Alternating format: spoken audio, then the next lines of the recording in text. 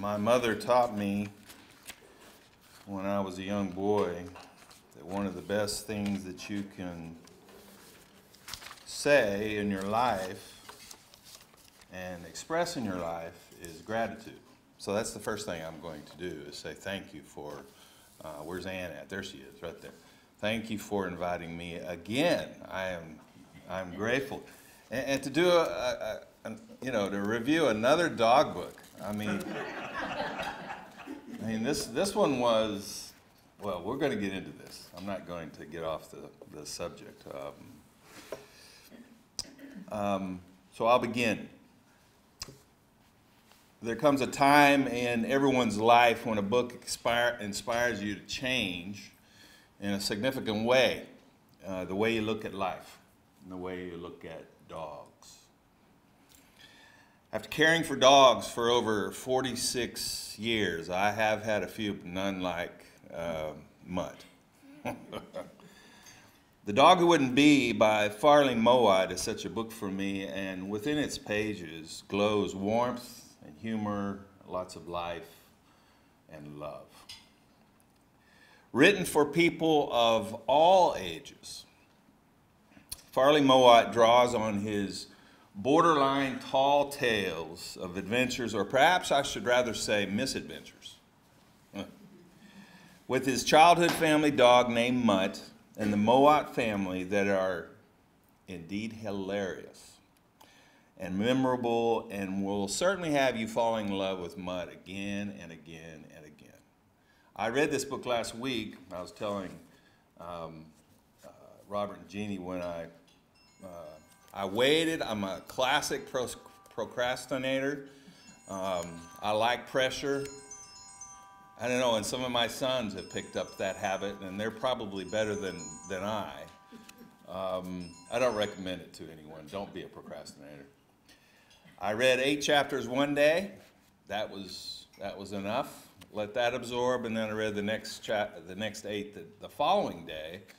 I waited a day to just let it absorb, and then the fourth day or third day, I sketched out a, a plan, and then the following day I wrote wrote out the you know the notes. So that's my that was my approach. I'm still. Um, reflecting on this book. It is in my head and most especially in my heart.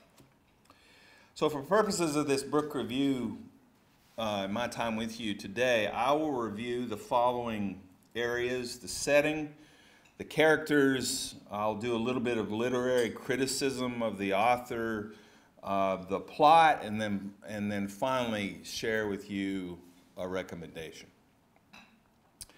First, the setting. The, the misadventures of Farley and Mutt began when the family moved to Saskatoon, Saskatchewan, Canada in 1929. I'm a Texan, I think I said that correctly. Um, a remote frontier town um, on the edge of a prairie that was experiencing the Dust Bowl at the time and was set smack in a landscape that Farley aptly describes on page 14 appeared to be in the last stages of dry rot. Now, we've all seen dry rot, but what an image that thrusts right in your face. Um, by the time Farley and his family arrived in Saskatoon, or just outside of Saskatoon, you recall in the book they stopped at a farm to get some help with um, their car or something. And the old farmer began talking with Farley and further, de further described Saskatoon in, in this way. She's flat, boy. This country's flat enough so you can stand on a gopher hill. You can, you can see nigh off to China. Saskatoon was founded more than 30 years before Farley and his family arrived as an outpost of the Methodist faith and eventually became a city of over 30,000 people. Saskatoon embraced the beliefs and customs of the Doukhobors, the Mennonites, and the Hutterites. All this was a mystery to eight-year-old boy, an eight-year-old boy named Farley, who hailed from Ontario. Now, a little bit about the characters. Now, that may be obvious, but I think we need to talk about them. Um, Farley's family consisted of his father, his mother, Farley, and eventually uh, Mutt. Now, I didn't include all the other animals, or other extended family, and they count too, uh, but this is where the story centers around. Um, on the one hand, Farley describes his father as a librarian, and he was. Uh, was also a sailor at heart, an ingenious builder, and a hopeful hunter. Hmm. Apparently, his father accepted a librarian position. That's the reason why they moved to Saskatoon from our Ontario. It doesn't say why. He was just offered the job and he accepted it. And um, that explained the purpose of the journey across the lunar landscape of the Saskatchewan prairie. On the other hand, Farley describes his mother as enterprising, frugal, patient, curious at heart. Farley is the author of the book and also is endowed with a fertile imagination, love of dogs, all animals, the great outdoors, and I dare say a huge giftedness with words. I don't do this very often, and maybe you did this too when you were reading the book, but I had to pull out my Webster's while I was reading the book because some of these book words I saw in this uh, the book I had not seen before. Contextually, I could figure it out, but I needed to go, what does he mean by that word? We'll talk a little more about that later. Before I introduce Mutt, let me share how Mutt arrived in the Mowat household. One day, Far Farley's mother answered the door, and a little boy was standing holding a box full of three emaciated ducks and a small emaciated cow manure cake puppy. Um, and he asked Farley's mother if she would like to buy some ducks. And she didn't have any place. I don't think she really wanted to buy the ducks, but she used the excuse, I don't have any place to keep ducks. And, but she did notice the puppy. And she purchased the puppy for four cents. As soon as the Mowat family arrived in their new rent house in Saskatoon, which became their home that Farley, Farley describes as, quote, an incinerator in the summer and a polar outpost in the winter. yeah, it does sound like San Antonio, doesn't it? Farley realized that the family did not have a dog to join them on the new adventure. So Farley's father at the encouragement of great um, the uh, where's my note? Great Uncle Frank um, began looking for a hunting dog and brought home an Irish setter, uh, a beautiful Irish setter. You recall this story. Um, he loved the dog, but there was something about the dog that got the mother's attention, and that was the fact the dog cost $200. Well, you imagine $200 in 1929. Good Lord, that's a lot of money. Remember, I described the mother as what? As frugal.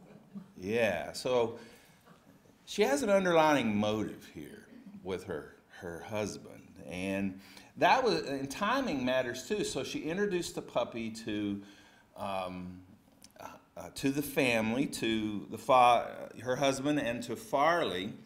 And Farley connected immediately with the puppy. Uh, while Farley connected immediately with the puppy, Farley's father wasn't as receptive. Why? Because, well, the little dog, the little puppy didn't look like, you know, a hunting dog as he was, you know, look for, looking forward to buy. So Farley's mother and her ulter, ulterior motive for buying the puppy, that's saving the family some money, won over her husband, and Mutt became a member of the Mowat household. So, how did Farley describe his new puppy Mutt? Well, at first, Farley believed that Mutt was never really a puppy. And what does he mean by that? He did not do the things that puppies normally do, like chew on your foot, chew on the upholstery, uh, maybe stain the, the rugs. No, Mutt was different. Mutt was mature for his age. He was restrained, dignified, and resolute. He took life seriously and expected everyone around him to do the same. His character was unmalleable, yet he was a complainer. He loved to argue with human beings. He was stubborn and often sulky. Farley believed Mutt no longer believed he was dog, a dog, yet neither did Mutt believe he was a human. In appearance, Mutt was unique like his attitude. His hindquarters were elevated a little higher than his forequarters, and at the same time, he was distinctly canted from left to right. And as a result, he used this drifting off three points to starboard to his advantage when chasing gophers and cats. They never really knew if he was really chasing them because it looked like he was going to turn left or was it right until it was too late and he was on the cat or the gopher. In addition, Mutt possessed uh, a beautiful coat of hair. Quote, Farley describes Mutt as having a handsome black and white coat of fine, almost silky hair with exceptionally long feathers on his legs. His tail was limber, it was long, it was expressive.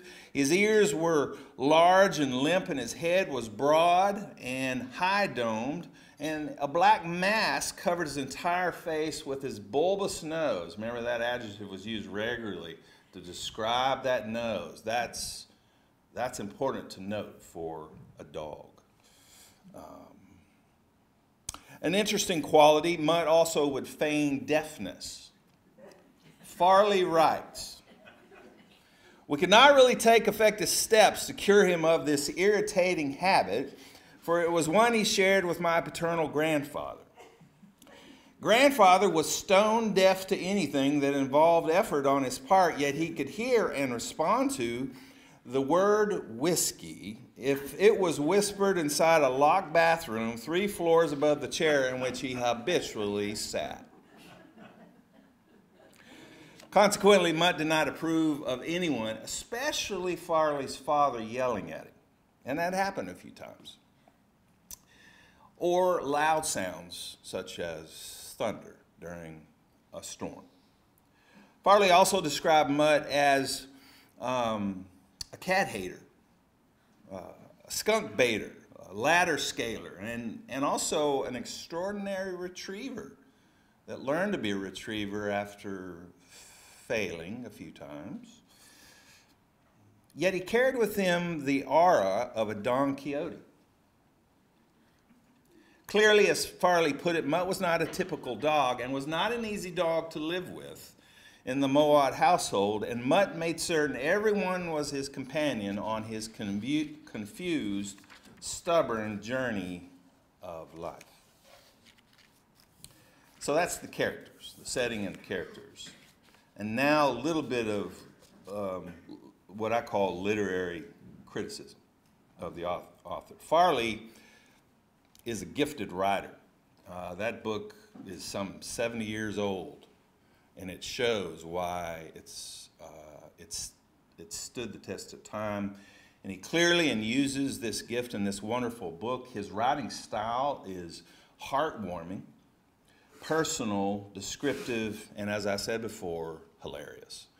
He is an excellent storyteller. I want to share with you, I shared one little snippet with you, but I want to share some others with you. Do you remember earlier, my mention earlier of Mutt's desire not to be a dog, but to be a human? Apparently, as Farley puts it, Mutt was somehow able to communicate this conviction to onlookers. And so in the book, on page 23, is a cute little story about Mutt and Farley's mother. One bitterly cold day in January, Mother went downtown to do some post Christmas shopping, and Mutt accompanied her. She parted from him outside the Hudson Bay department store, for Mutt had strong antipathies even in those early months, and one of these was directed against the famous company of, of gentlemen adventurers. Mother was inside the store for almost an hour while Mutt was le left to shiver on the windswept pavement. When Mother emerged at last, Mutt had forgotten that he had voluntarily elected to remain outside. Instead, he was nursing a grievance at what seemed to him to be a calculated indifference to his comfort on my mother's part. He had decided to sulk. And when he sulked, he became intractable. Nothing that mother would say could persuade him to get off the frigid concrete and accompany her home. Mother pleaded. Mutt ignored her and fixed his gaze upon the steamed up windows of the Star Cafe across the street.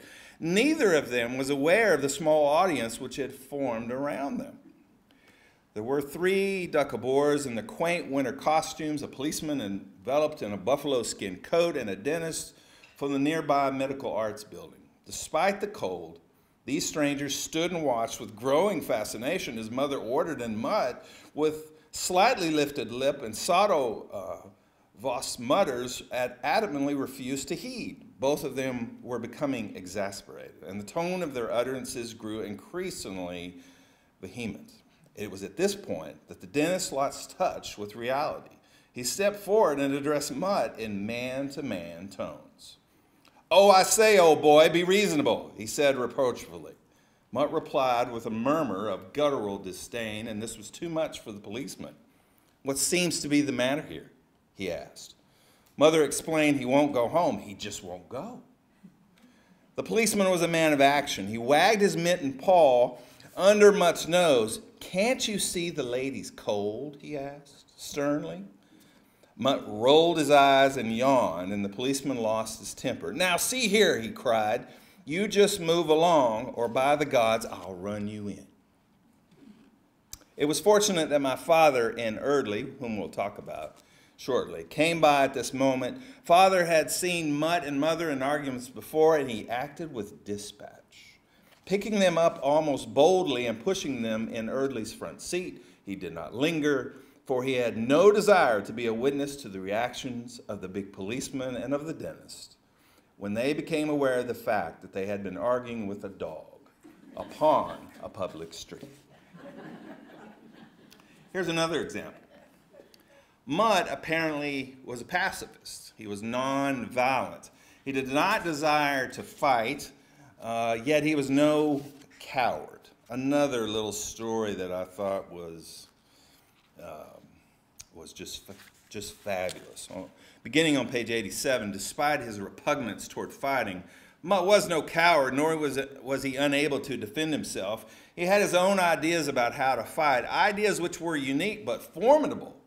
Just how efficacious they actually were was demonstrated to us all within a week of our arrival at our new address. Knowing nothing of the neighborhood, Mutt dared to go where even bulldogs feared to tread, and one morning he foolishly pers- uh, pursued a cat into the ex school teacher's yard. He was immediately surrounded by four ravening huskies. They were a merciless lot, and they closed in for the kill. Mutt saw at once that this time he would have to fight, so with one quick motion, he flung, flung himself over on his back and began to pat, pedal furiously with all four feet. It looked rather as if he were riding a, a bicycle built for two, but upside down. He also began to sound his siren. This was a noise he made, just how I do not know, deep in the back of his throat. It was a kind of frenzied wail. The siren rose in pitch and volume as his legs increased their RPM until he began to sound like a gas turbine at full throttle. The effect of this unorthodox behavior on the four huskies was to bring them to an abrupt halt. Their ears went forward and their tails uncurled as a look of pain, bewilderment wrinkled their brows, and then slowly, one by one, they began to back away, their eyes uneasily averted from the distressing spectacle before them. When they were 10 feet from Mutt, they turned as one dog and fled without dignity for their own backyard.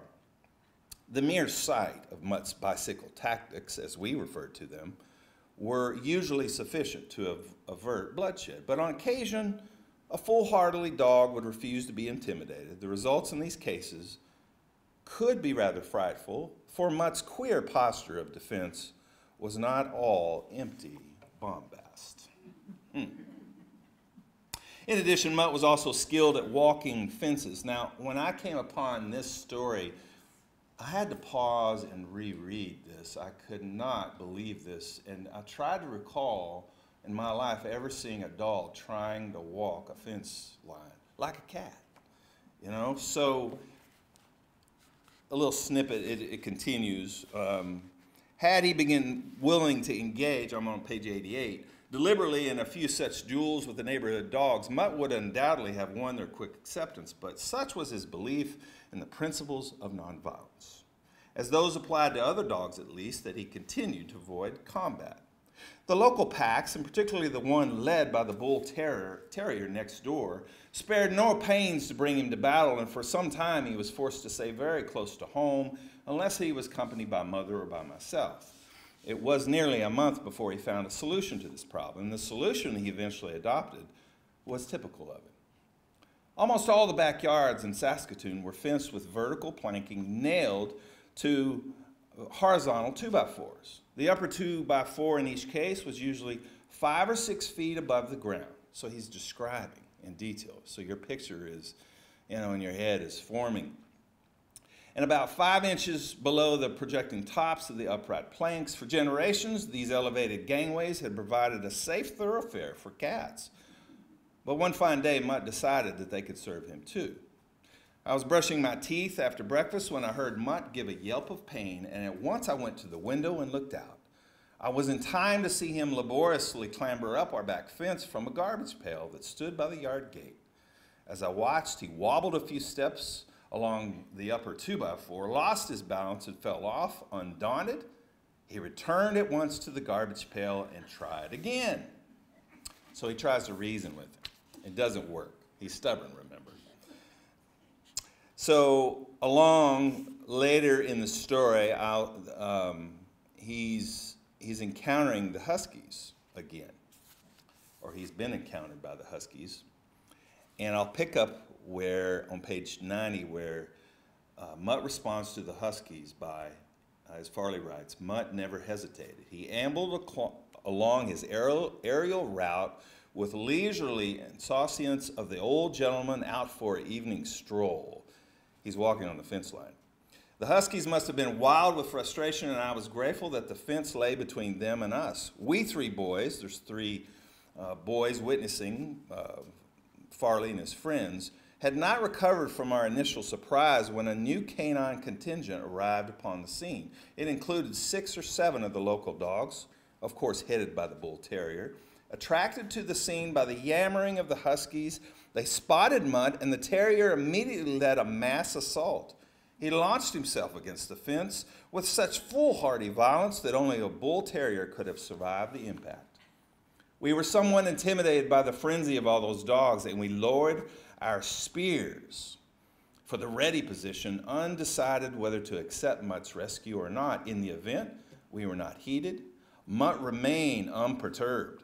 Although this may have been only an illusion resulting from the fact that he was concentrating so hard on his balancing act that he could spare no attention for his assailants, he moved along at a slow but steady pace, and having safely navigated the husky's fence, he jumped up slightly jumped up to the slightly higher fence next door, stepped along it until he came to a garage. With a graceful leap, he gained the garage roof where he lay down for a few moments to rest, but actually, I'm certain to enjoy his triumph. Below him, there was pandemonium. I've never seen a dog so angry as that bull terrier was. Although the garage wall facing on the alley was a good eight feet high, that terrier kept hurling himself impotently against it until he must have been one large quivering bruise. Mutt watched the performance for about two or three minutes, then he stood up and, with one insolent backward glance, jumped down to the dividing fence between the two houses and ambled along it to the street front beyond. Hmm. He used the skill of walking fences against the cats in the neighborhood. And uh, Farley writes, Mutt had, uh, on page 93, Mutt had always disliked cats until he became an expert fence walker, but he had never been able to demonstrate his feelings in a truly efficient manner. The fenced in backyards of Saskatoon might have been built to order for the cats and specifically designed to thwart all dogs. Perhaps as a result of this favorable environment, the cat population was, was rather large and the cats themselves had grown careless and arrogant. It was understandable that they should feel this way, and after many years of security, it was a foolhardy attitude, as Mutt soon demonstrated. Once he had perfected the art of fence walking, he became the scourge and often the nemesis of the cats on our block. When the surviving local cats became a few in number and wary, Mutt went farther afield, scouring alleys right across Saskatoon for cats that had not had warning of his unique abilities. Before the year was out, he had endangered such a feeling of insecurity among the city's cats that they became almost wholly arboreal. Once having located a cat, Mutt would make the, the usual futile sort of dog rush in its direction. The cat would promptly climb to the nearest fence and set there feeling ease and, at, and safe. With a dejected look, Mutt would turn away, apparently accepting defeat, while the cat spat insults at his retreating back.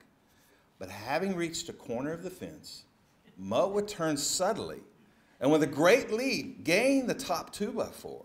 Oh, the game changes now. Before the startled cat had time to stand its hair on end, Mutt would come rushing toward it on its own level. And Mutt did this again and again and again. And going beyond that, walking fences, ultimately to climbing trees and ladders. I was flabbergasted by the time I was reading this. I don't know about you. I, I don't ever recall seeing a dog. I remember seeing goats in trees, but not dogs. And there's stories that I won't I won't share with you. It's page 94. There's one on 99 that I think was very good um, about Mutt finding a tempting ladder. Uh, he ascended it and being able to turn around, simply clambered into an open second door story bedroom window and scratched at the closet bedroom door until the householder came upstairs and let him out. The owner of that house was an, another singular character. He had worked for the Canadian National Railways for 30 odd years, and as a result, he was the most uh, phlegmatic man I ever knew. Nothing could disturb him and his peace. When he re entered his living room after having let Mutt out the back door, his wife asked him what the noise upstairs had been, and he replied, Oh, nothing, my dear, only a stray dog in the bedroom.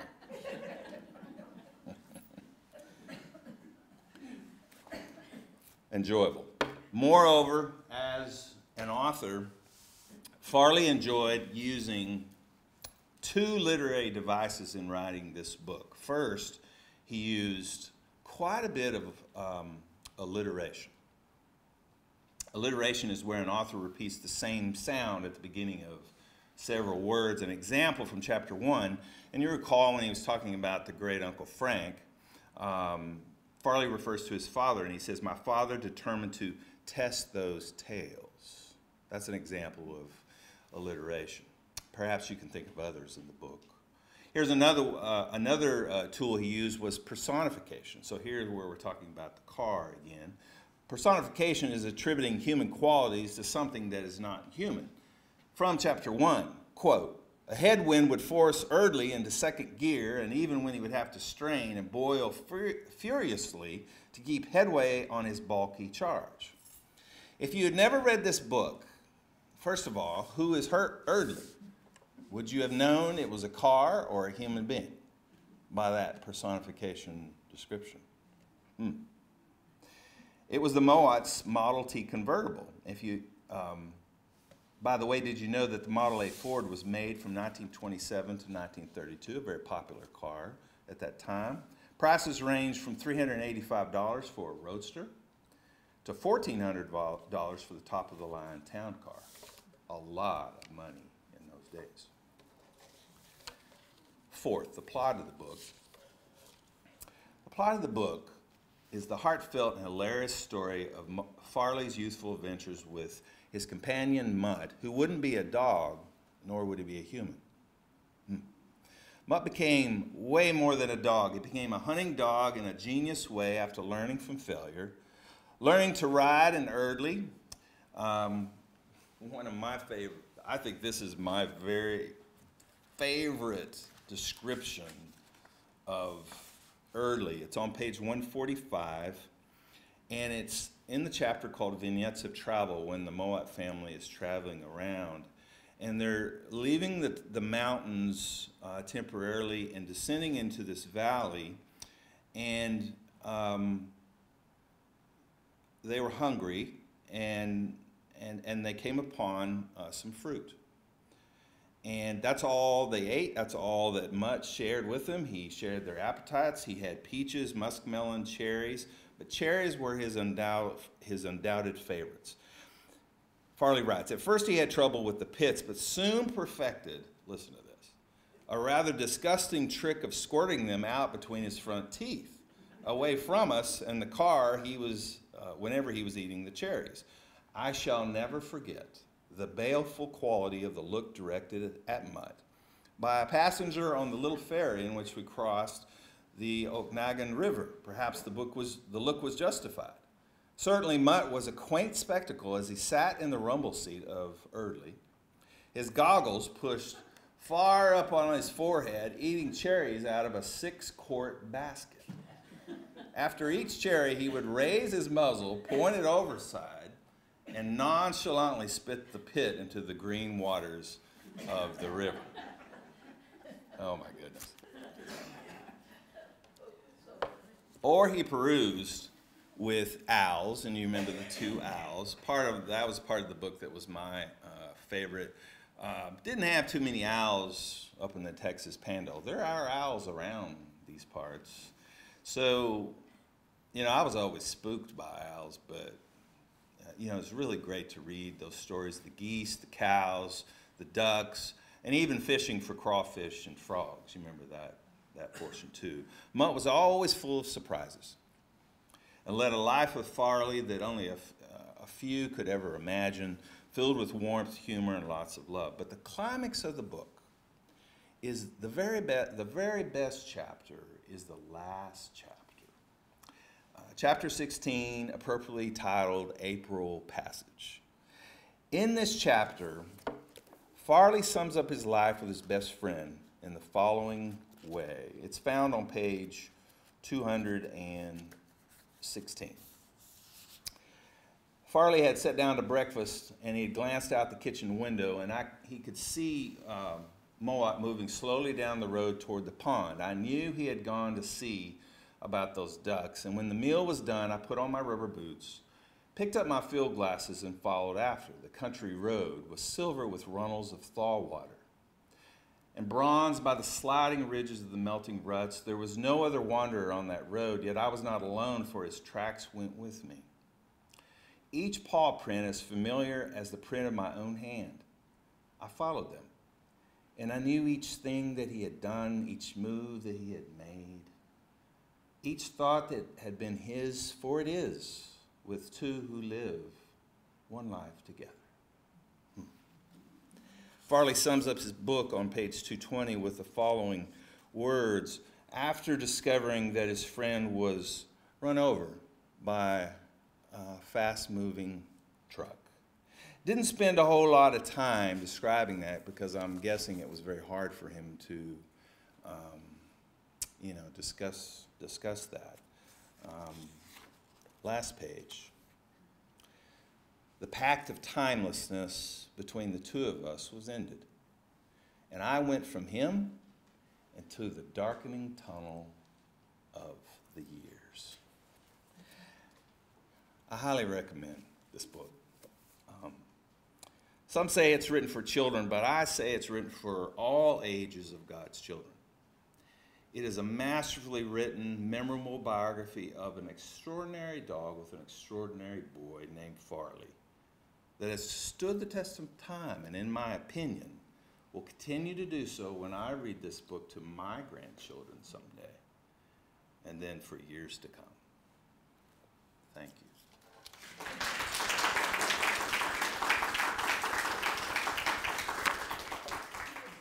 Do you have any questions about the book?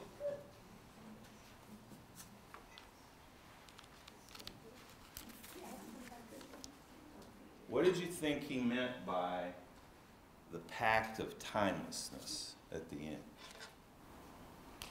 Well, as a pastor, what connection do you think this has to uh, the hope for eternal life, meaning the hope for It's a good question. eternal uh, existence and being in the presence of God, you know? You're referring to that last, Yeah, that last. that last that last uh, thing, uh, passage. I, I think both those, those statements that I pulled from, you know, from the chapter, you know, living life together and, um, you know, you get so close to someone, you love them, you know, so much that, you know, what's the, the, the words or phrases that are said, you know, I know what they're going to say this situation. In fact, I can, I can complete their, their, their sentence.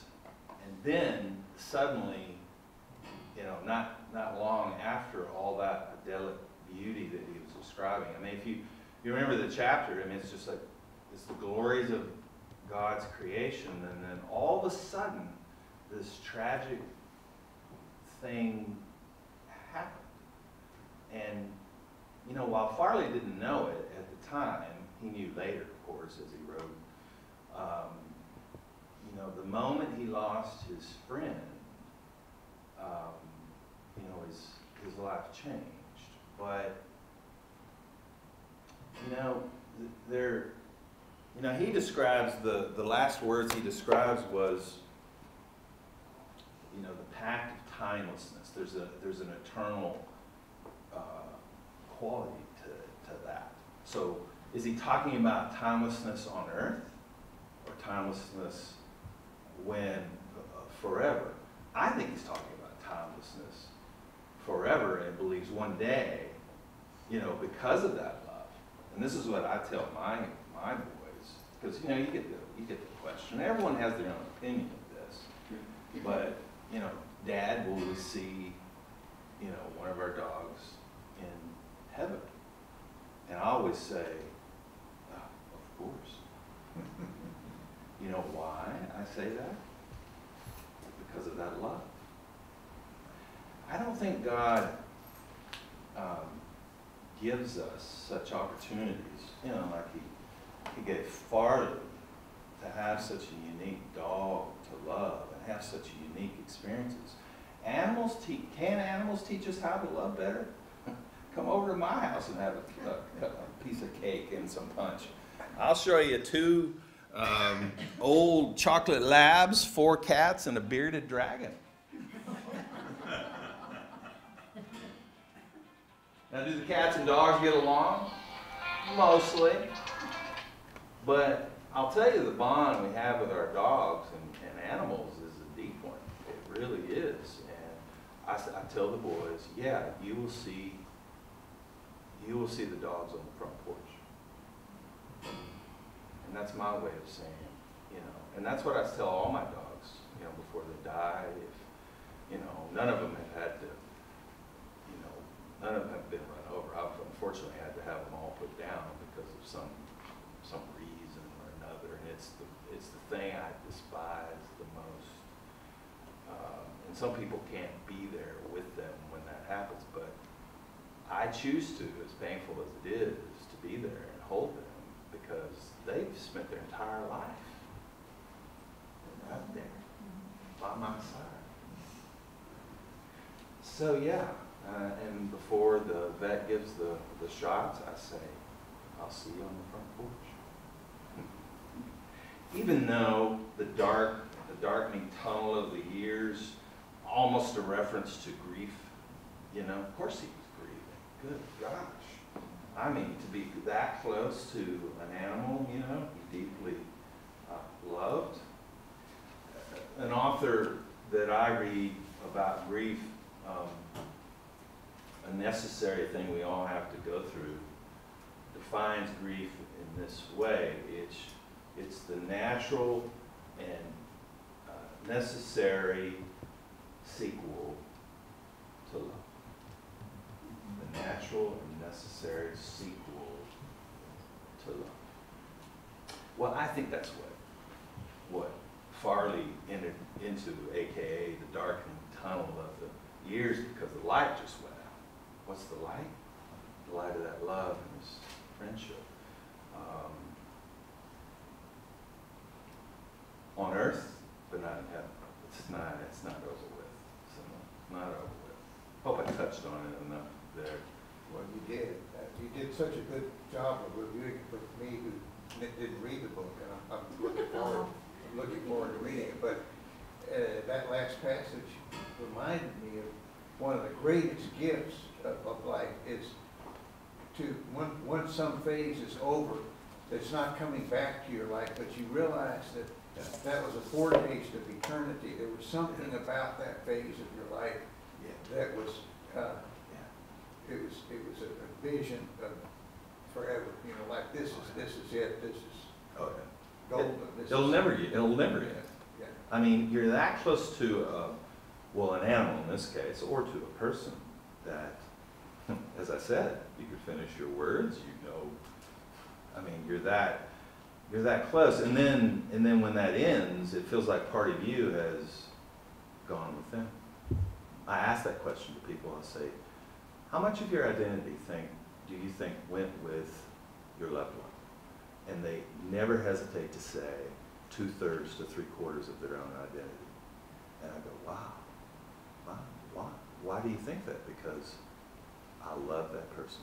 I love that dog so much.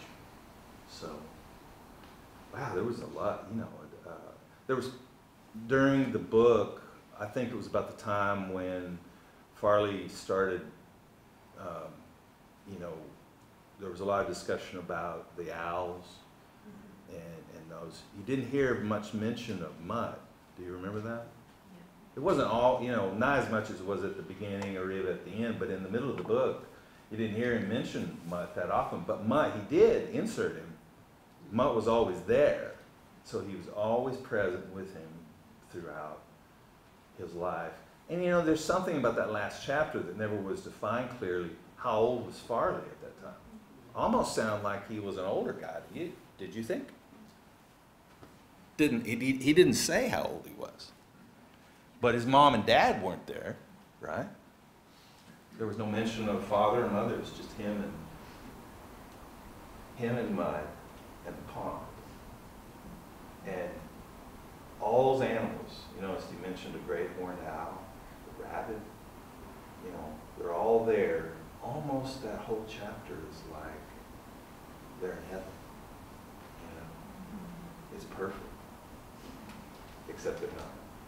They're not. Or, you know, a fast moving truck wouldn't have hit, you know, ended his life. I'm glad I didn't talk about that too much because I had memories of losing dogs, you know, and ripping, uh, ripping my heart to pieces. So Susie told me, she said, don't focus on that part, Scott. Don't focus on that. I go, I won't, I won't. I mean, there's too much, but, you know, you laugh so much in this book and then there's the note of, of sadness. And, and Farley didn't hesitate to write about the sad part of loving a pet like the owls. Remember the owls, how they, uh, one owl choked itself in a, in a cage and the other one was shot. Uh, was literally shot in the home that they moved from by the next resident. Yeah, it was very tragic because the, the, the owl, Wolf, Wol, Wol thought it was home. And so Wol flies into the window, lands, and there's a gun waiting for him. Ends his life.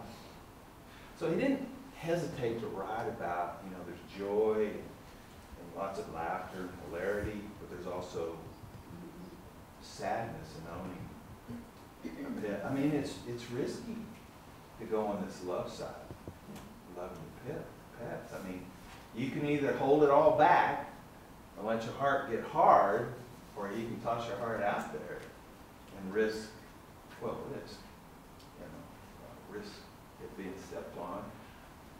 If you're anything like me, I think it's worth risking loving the pet. Because God knows you need that. God doesn't want to leave you standing there or hold, you know, stuck. He wants your heart to grow. 'Cause that's what he's most concerned about is your heart. The motives of your heart. Heart, develop, grow, grow. Everything else, well, he'll take care of that for as long as he can. So if you read the book, read it again. Share it with your children, share it with your grandchildren. If you haven't, you can get it as a PDF online, Robert, it's free. Uh, uh, Or go buy the book for, what was it, fifteen ninety-five, I think? It's in the library. Oh, it's in the library I too? got out of the library. Well, that's even better.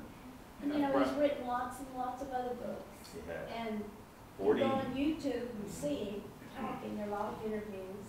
Mhm. He's dead since two thousand fourteen, but he became a well-known environmentalist, Oh, yeah. ecologist, and Activist. an activist. Yeah. And, uh, had many experiences with many different animals. Oh, yeah. Uh, It, it- was, I, I- don't know if Anne was thinking of this, but I imagine you were, I'm guessing. uh, That really IDs with me. Nature and animals. and, I mean, that's right up my alley. It really, really is. Uh, That's why we got so many animals in our house. One, because I love them, and secondly, because I can't say no. Well, there's quite a discrepancy about the two do, two hundred dollar Irish setter Yeah. and the four cent mutt. Oh, yeah. But I was amazed when you told the price of an automobile. Yeah. I mean, that was only seven times more than the cost of that dog. Yeah. Sh- shocking. What we spend our money on. Yeah. Yeah. But you know, you know, today, uh, three hundred, what's three hundred and eighty-five dollars? Well, it's a lot of money. I mean, it's, it's not any small change, but that compared to buying a- an automobile today for thirty thousand dollars or thirty thousand eight hundred and fifty dollars or whatever, uh, You know, the way, the way that the note, the note I found about the wrote it is, if you really, you know, if you really want to up it, you get the, the fourteen hundred version, that, the fourteen hundred dollar car, you know. It's like, that is a lot of money, you know, you had to be wealthy. Perspective. What, what's your perspective about that time? So, but the four cents, that was a very emphatic point, that, you know, what, what Well, and she only bought it because she didn't wanna hurt the little boy's feelings anyway. She Sure. didn't really want the dog. She didn't need it, didn't want it, it. no, wasn't part of it, and, And he was only asking five cents, yeah, and then so she had to bargain with him. so- the enterprising part. You know, she, I, I imagine the mo- the mother sounded to me like, uh, she had to put up with a lot, a lot. I mean, on the on the journey to uh, Saskatoon, I mean, she was mutinous, I think, at some point, she wanted to leave. I mean, to describe the, what's it like to ride in the back of that car with all that dust blowing, you know? The wind and, the dust bowl. Yeah, I mean, you smile and get your teeth cleaned, you know, because the, the dirt's blowing so, so hard, so. I hope you invite me to, uh, review another book someday. Uh, Don't hesi, don't hesitate, because I'm not gonna, say- Knocking on your door. I'm not gonna say no. Thank you all.